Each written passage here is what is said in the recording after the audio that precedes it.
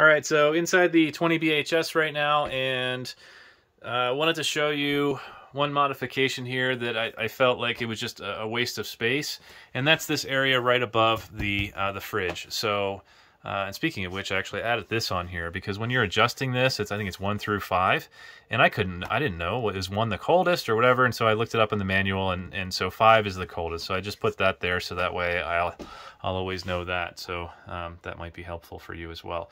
But aside from that, uh, the video here is just for letting you guys know that it is a bunch of wasted space up here, and uh, if you want to be able to utilize it like I did, it's not that difficult to do and um, so I added in a, uh, you know, I, I, ended up ordering some parts from Forest River and got, this is just my piece of three quarter inch, um, uh, you know, finish grade uh, plywood. And then I just got, they have this face on it is basically just like a peel and stick uh, material.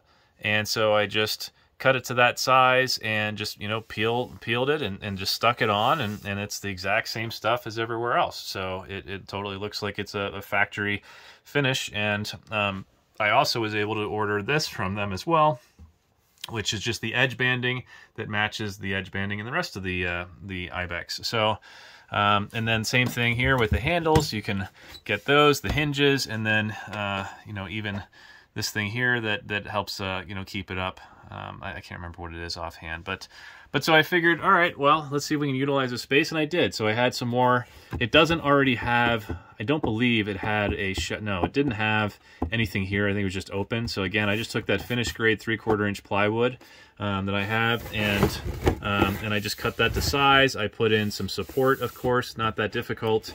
And then I figured for the time being anyway, let's just go ahead and use it for, um, you know, for storing the, the hose, you know, associated with the vacuum and then the, you know, the vacuum parts um, and, and some uh, extra uh, uh, vacuum bags I had bought too. So, and you can see that's the very back.